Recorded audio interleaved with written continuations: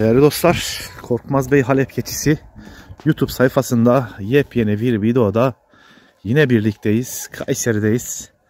Kayseri Hacılar'da Erciyes'in kuzey tarafındayız. Burada bir üretici dostumuzu, bir abimizi ziyarete geldik. Kendisi şu anda keçileri karşılamaya gidiyor. Biz de onu takip ediyoruz. Nasıl yapıyor bu işi? Hangi zorluklarla karşılaşıyor?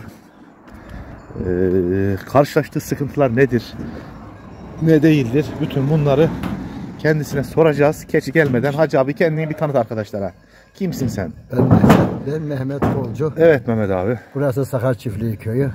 Evet. Keçi besliyorum. Tamam. Hayvancılıkla uğraşıyoruz. Şimdi Mehmet abinin keçileri geliyor arkadaşlar. Ee, harika bir yaylım yeri var burada. Bol meşe var gördüğüm kadarıyla. Şimdi Mehmet abinin keçilerini sizinle paylaşacağım. Keçilerle paylaşırken de Mehmet abiyle ara ara konuşacağız. Keçiler geliyor şu anda. Keçiler ee, ufak ufak geliyor. Evet Mehmet abinin keçileri geliyor. Hı, Evet. Suya mı koşuyor bunlar? Evet, Suda buz tutmuş ama. Mehmet abinin keçiler geçiyor. Genellikle kilis ağırlıklı sanki. Evet. Keçiler kilis ağırlıklı. Şu anda evet evet kilis ağırlıklı. Aynen. Mehmet abinin keçileri kilis arkadaşlar şu ana göre kadar gördüklerimiz. Maşallah maşallah.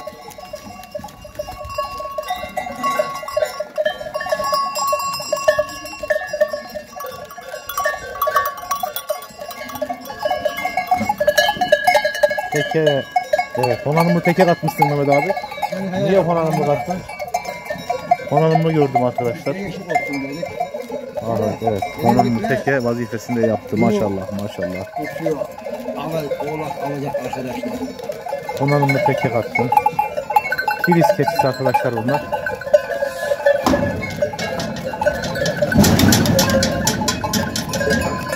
Halep teke göremedim daha.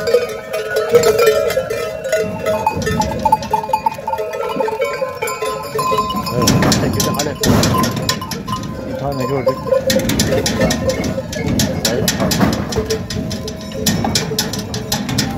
Bir tane Halep keçisi gördük şurada.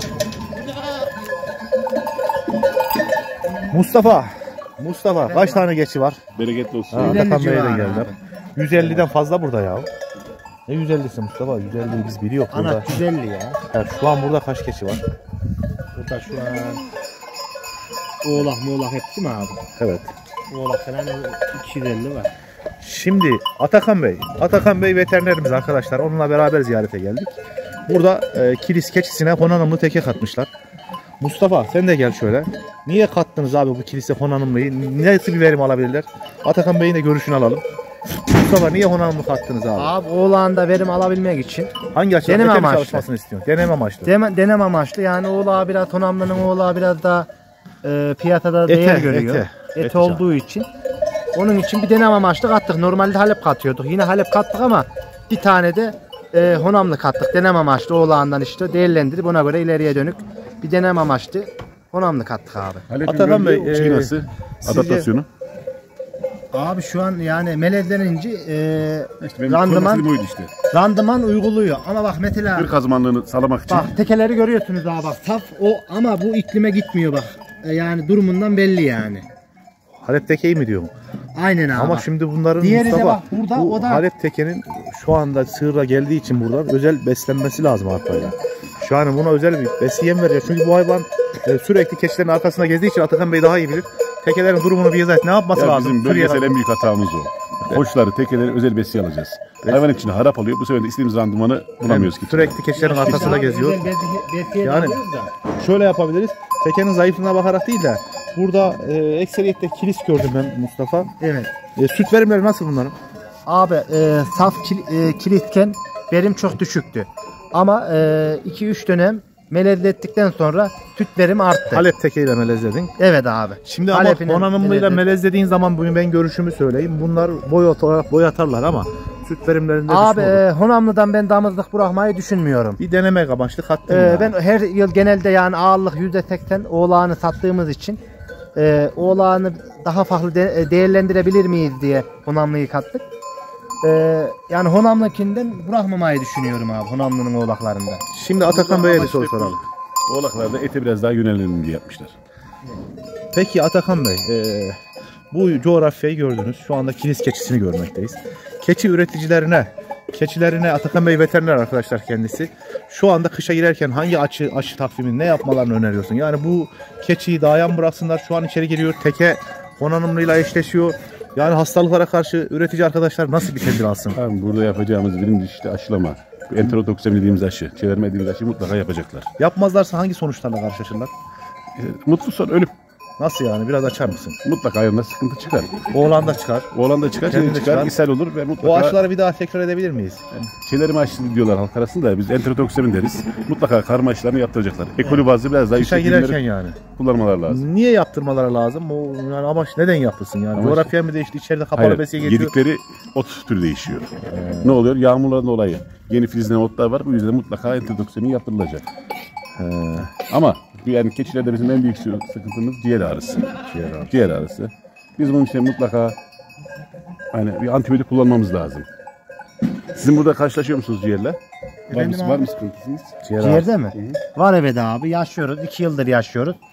Ee, bu sene de farklı olarak işte şimdi e, çiftleşme zamanından sonra yaptık. Bir de böyle bir deneyeceğiz abi.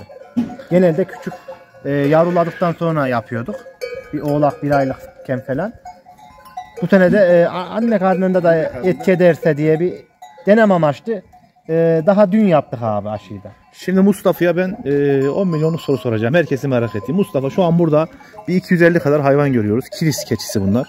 E, şu anda senin süt rekortmeni keçinden kaç kilo süt aldın? Bir sağımda ya da iki sağımda. Bir gün içerisinde 24 saat içerisinde karşılaştığın süt veriminde en fazla kaç ne kadar süt aldın? Şimdi abi böyle Yayılımla. e, şey olarak yani bir gün bazında söylüyorum. Yoksa öyle bilinmez ama bu sadece- denemedim yani Tahmini birebir denemedim tam ama olarak- tahmini 2 kilo falandır abi. 2 kilo falan en fazla. Evet. Şurada biraz halepimsi bir geçi görüyoruz. Bunun dışında da yok herhalde. Var abi var. Şurada var birkaç tane. Ee, şimdi peki Mustafa ee, bu kadar keçiden sağladığın sütü ne yapıyorsun? Peynir yapıyoruz abi. Ne kadar peynir ürettin bu sene? Şimdi abi onu da yani Aşağı e, yukarı. kilogram olarak şey yapmadık ama yani gün bazında e, 10 25-30 kilo civarı. 30 kilo peynir. ürettin. Aşağı yukarı kilosunda 150 lira civarında verdiniz. Evet abi 130'a veriyorduk. Şu an 150, 150 yaptık. kilo peynir Yani ürettiniz. ortalama bu yaz döneminde 130'a verdik abi 150 tulum olarak. tulum olarak verdin. Şimdi e, 30 kilo peynir üretti arkadaşlar. Mustafa şu kadar keçiden. Bunun da 130 liradan sattı.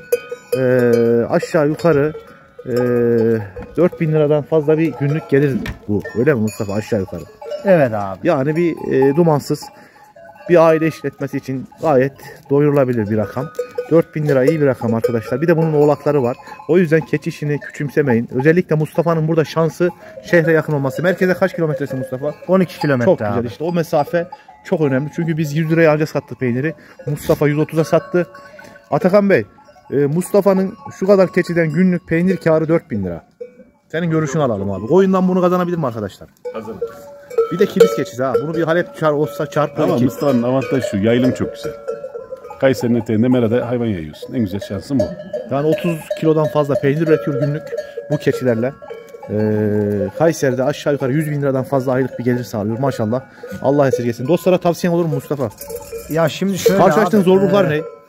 Bu iş çok zor abi. Bu iş yani Bayağı bir yemek isteyen iş. Çoban bulunmuyor. Çoban sıkıntısı var. Ee, şu- şu son dönemlerde de e, özellikle de bu sene sattığımız mahsul e, kışlık yiyeceğini karşılamamaktadır. Bu kadar zor durum yani. Bu sene sıkıntı yani sıkıntı büyük bu sene. Yani bu sene karitmeyi boş ver e, zarara gidiyor yani. Çünkü bugün ofis ofisten bir beklentimiz vardı. Bir 4000 lira civarı dediler. E, o da 5250 artık ADV. O da 4000 5400 5500'ü buluyor. Bunun nakliyeti kırdırması 6,5 bin liraya tekamül ediyor. Öyle de olunca e, şu hayvanlar 30 tonun üzerinde kışlık arpa yiyor. Öyle de olunca 30 ton Ee, arpa da aşağı yukarı 300 bin liraya yakın bir gider. aynen öyle. Mesela oğlağı erkek oğlağı sattık 800'e. Ondan sonra dişi oğlağı sattık 750'ye temsili. Yani bunlara bakarak bu sene yani çok sıkıntıda yani. Şimdi yem konusunda Atakan Bey'e yönlendirelim. Atakan Bey, kendisi veteriner arkadaşlar bir daha tanıtayım.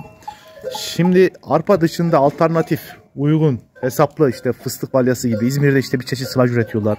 Yani bu yem giderini düşürüp keçiye zarar vermeden önerebileceğin Bizim, var mı? bizim ya? bölgemizde yok bu şekilde. Çünkü burada amaç nedir? Sanayi atıklarını hayvancılıkta kullanmak. Yani Ama bizim bölgemizde yok da işte üretici 30 ton 40 ton bir tır yükledir getirir.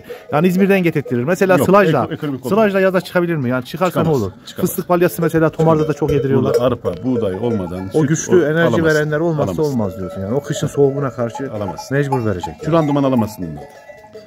Ha burada amaç süt. Bir de arkadaş diyor ki şimdi sütten bu kadar kar ettim ama etti 2 ay.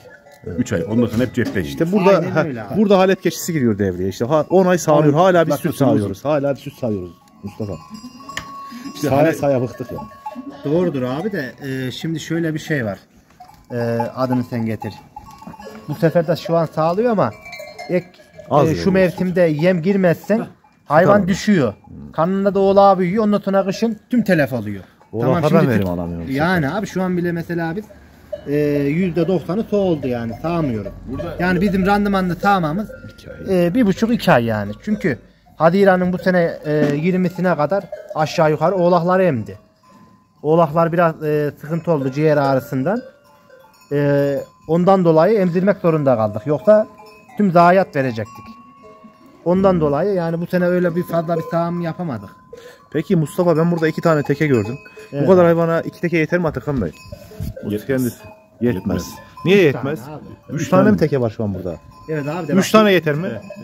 40-45 tane teke başı. Yani 40 taneye bir tane. Bir tane. Aynı zamanda tekeler evde beslenecek. Tekelerin zayıf. Bunlar arpayla günde ikişer kilo, birer kilo değil mi? Verilmesi lazım. Yem desteği vermen lazım. Çünkü tekeler burada yayılmıyor. Akşama kadar hep bunların arkasına Evet geziyor. abi öğlenlere geldiğinde yemliyoruz abi.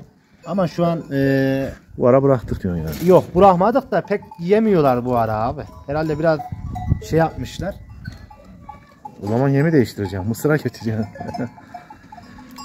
evet değerli dostlar yaklaşık 15 dakikadır birlikteyiz. Size Kayseri'de Hacılar'da değerli üretici Mehmet abi ve Mustafa'yı tanıştırdım. Veteriner dostumuz Atakan Bey ile beraber e, keçiler hakkında sizlerle bilgi paylaşımında bulunduk. E, ben Adem Korkmaz bir başka videoda yeniden görüşebilmek umuduyla hepinize selam ve sevgiler arkadaşlar.